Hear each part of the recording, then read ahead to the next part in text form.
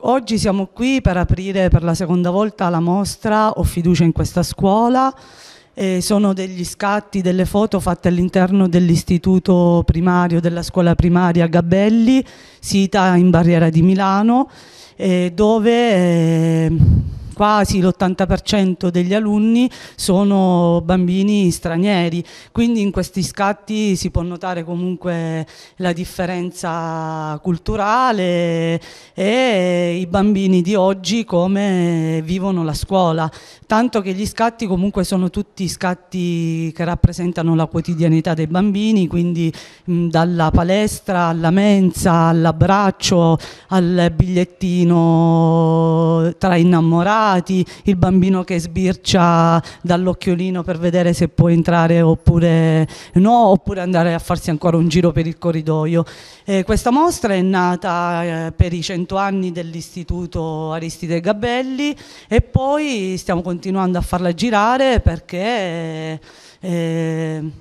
io ritengo e riteniamo che sia necessario comunque portare avanti e far vedere come eh, si lavora all'interno di scuole dove eh, la maggior parte sono bambini stranieri, dove si pensa spesso a scuole ghetto, eh, a scuole dove non si fa nulla, le scuole per gli ultimi. Invece da questi scatti si può notare eh, tante attività dalla scherma alla pittura e si può appunto vedere la gioia di questi bambini nel frequentare la scuola. È una bellissima occasione, questa giornata è una bellissima festa, è l'inaugurazione della mostra per il centenario della scuola Gabelli, un evento importante per tutto il territorio di Barriera di Milano, una scuola che ha fatto la storia e che oggi attraverso il suo repertorio fotografico ci fa vedere quanti, quanti, quanti ragazzi sono passati attraverso questa scuola e attraverso questa cultura e questa formazione. La Barriera di Milano nel frattempo si è evoluta e ha dato spazio a, a, nelle classi alla presenza di ragazzi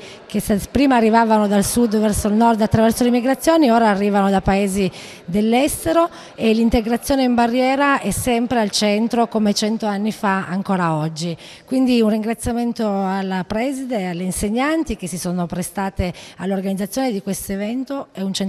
dura, è una festa di centenario che dura da tutto l'anno, abbiamo avuto una bellissima festa all'interno della scuola a maggio e oggi concludiamo ma in realtà iniziamo, con, inauguriamo la mostra mostra che finirà il 28 novembre.